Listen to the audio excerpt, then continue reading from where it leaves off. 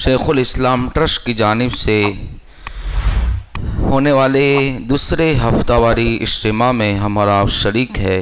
गौर से सुनिएगा ये मसला ऐसा है कि बहुत से लोग ताज्जुब भी कर रहे थे कि ऐसा भी होता है। और इस इसके ताल्लुक से आ, मुझे एक ने पूछा भी था तो उसने कहा दो बार कहा कि ऐसा? मैंने कहा हाँ ऐसा। बोले ऐसा? बोले हाँ ऐसा। तो इससे ये पता चला कि ये बहुत इम्पोर्टेंट मसला है। जब हम इक्तदा की नीयत करते हैं इमाम की तो फिर हमें इमाम को ही फॉलो करना है। लेकिन ये मसला ऐसा है कि वहाँ हम इमाम की इक्तदा नहीं करेंगे और इसका रीज़न अब समाप्त करें।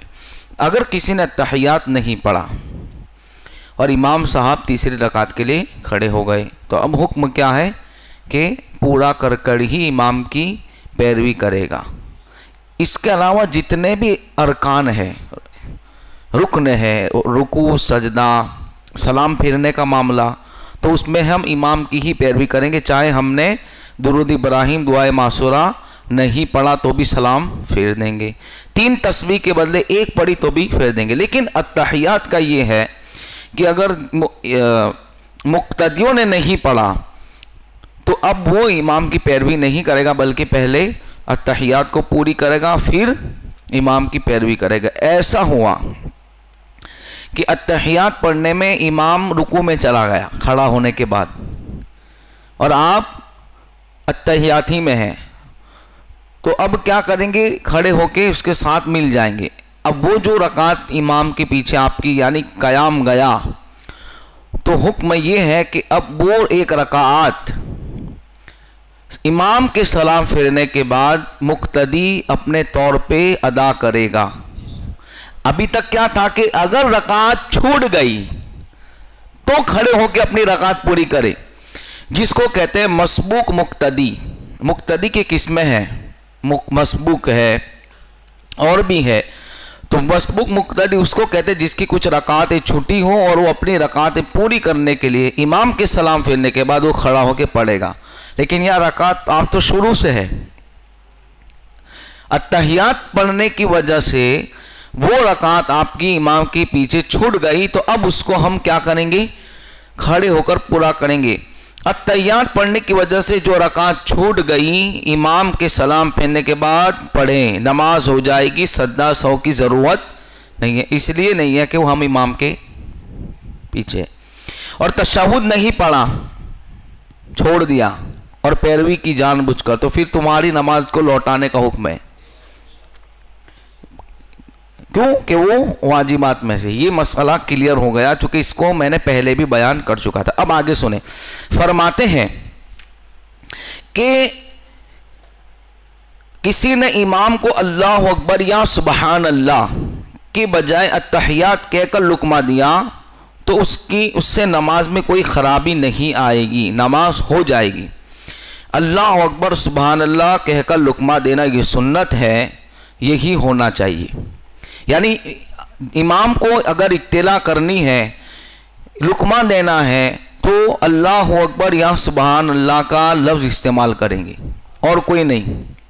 यही सुन्नत है। अगर कोई दूसरा कहता भी है तो कहते हैं, नमाज़ हो जाएगी, सद्दा सौ की ज़रूरत नहीं है। इसी तरह फरमाते हैं चार रकात वाली नफल नमाज़ के पहले कायदे में अतहियात पढ़ने के बाद दुरुस्त शरीफ वगैरह पढ़ लिया तो सदा सब वाजिब नहीं है। बल्कि इन चारों रकात में पहले कायदे में तहियात दुरुद पाक पढ़ना मुस्तहब है। पहले जो मसला बयान किया था उसमें क्या है कि अतहियात के बाद फ़ौर खड़े हो जाएँ। अगर किसी ने दुरुस्त शरीफ पढ़ लिया तो सदा सौ वाजिब वो कौन सी नमाज़ है? नफलों को छोड़ दे। उसके अलावा जितनी नमाज़ है। फ़र्ज़ नमाज़, मौकेदा, सुन्नत, तराबी, वितर। और गैर मौकेदा और नफल का ये हुक्म है कि पहले कायदे में दुरूद शरीफ और दुआ मासूरा ये मुस्तहब है। अगर कोई नहीं पढ़ता तो नमाज़ हो जाएगी सद्दा सौ की ज़रूरत नहीं है। इसी तरह फरमाते हैं, अगर किसी की नमाज़, किसी ने, किसी को कायदे उला में शक हुआ कि भाई पहला कायदा मैंने करा है कि नहीं करा शक हुआ कि हुआ कि नहीं हुआ। शक हो गया कायदे में बैठा कि नहीं तो ऐसी हालत में सजद सौ करे नमाज़ हो जाएगी। इसलिए कि कायदा उला वाजिब है। अगर कभी ऐसा डाउटफुल हो तो क्या करें सद्दाए सौ करे नमाज़ हो जाएगी। और अगर कंफर्म है कि भाई कराए तो तो फिर नहीं। यहाँ शक की बात हो रही है, फिफ्टी फिफ्टी परसेंट की बात हो रही है। तो क्या करें? सज्जाए सौ करे। अगर किसी की नमाज़ में पहले कायदे में भूलकर एक तरफ़ या दोनों तरफ़ सलाम फेर दिया। अभी आपने चार रकात की नीयत से नमाज़ शुरू की, पहले कायदे में याद नहीं आया। अतयाद भी पढ़ लिया, दुरुद इब्राहिम पढ़ लिया दुआ मासूरा पढ़ लिया, फ़ौरन और याद नहीं आया, सलाम फेर दिया। तो फरमाते हैं कि फ़ौरन खड़ा हो जाए। क्या करे फ़ौरन? कैसा हुआ? अभी मैं बताऊँ। अस्सलाम वालेकुम वरहमतुल्लाह यूँ करा याद है कि अभी तो दो जे हैं। तीन चार बाकी है तो क्या करें? खड़े हो जाए। और आखिर में सद्दाए सौ करे, नमाज़ हो जाएगी। अभी मान लो, अभी ये मसला नहीं खबर होती, इज्तम में नहीं आते तो क्या होता? चलो डबलत पढ़ो नहीं। डबलत पढ़ता क्योंकि वो कहता है कि चार की नीयत की दो पे फेर दिया। अब इसमें एक ख़ास ये बात फरमाते हैं कि ऐसा कोई काम ना हो जो नमाज़ के मुनाफी हो, सरजद ना हुआ हो। यानी नमाज़ पढ़ने के बाद अपने हाथ उठा लिए, घूम गए, बैठ गए कंप्लीट ये सब, चूँकि ये नमाज़ में ऐसा नहीं है, सीना फेर दिया, ये सब नहीं है नमाज़ में। अभी उसी पोजीशन में है आप। भले आपने चेहरा फिरा दिया, यहाँ तक आप कंप्लीटली यहीं बैठे हुए हैं। तो कहते हैं कि तीसरी चौथी रकात के लिए अल्लाह अकबर कहे और उठ जाए। और फरमाते हैं कि रकात के लिए खड़े हो जाए, नमाज़ पूरी करें, आखिर में सद्दा हिस्सा करें, नमाज़ हो जाएगी। अच्छा क्यों ऐसा? कोई बता सकता है? कल अभी, अब ये मसला मैंने पहले भी बताया था, अभी भी बताया। क्यों ऐसा? कि सद्दा सौ क्यों करना पड़ेगा? वाजिब मतलब कैसा वाजिब? आप करीब है बता देंगे। ध्यान आया कि नहीं आया? क्यों ऐसा? एक तो वाजिब छूटा पर कौन सा वाजिब? भूल कौन सी भूल? नहीं। अतयात के बाद फ़ौरन खड़े होना। तो एक तो ये हुआ कि दूरद इब्राहिम हमने पढ़ लिया। दूरद इब्राहिम हमने पढ़ लिया। तो, तो अब ताखिर हुई वाजिब यानी फ़र्ज़ में। तो अब क्या करें? सद्दाए सौ करें। इसी तरह कायदा उला में अल्लाह अकबर कहते हुए तीसरी रकात के लिए खड़ा हो जाए और हंस में दस्तूर नाफ के नीचे हाथ बाँध लें। बिस्मिल्लाह पढ़ के अल्हम्दुलिल्लाह शरीफ पढ़े। बिस्मिल्लाह पढ़ने का हुक्म है, लेकिन फरमाते इमाम के पीछे नहीं। ये मसला यूँ समझे, आप जब भी जैसे दो रकात के बाद खड़े होंगे तीसरी रकात के लिए, जब भी कायदा, यानी कयाम खड़े होंगे, खड़े कयाम कहते हैं जिसको तो बिस्मिल्लाह पढ़ के ही सूरत पढ़नी है। लेकिन फरमाते हैं कि कुछ लोग ऐसा भी करते हैं कि इमाम के पीछे भी बिस्मिल्लाह पढ़ते हैं। तो फरमाया, नहीं पढ़ना है। इमाम के पीछे बिस्मिल्लाह शरीफ पढ़ना नहीं है। फरमाते हैं कि वो किरत में है और इमाम की किरत, मुक्तदियों की किरत है।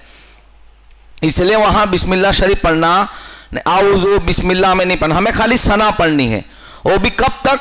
इमाम किरत शुरू कर चुका। अब आपकी अधूरी है तो भी सना छोड़ देंगे।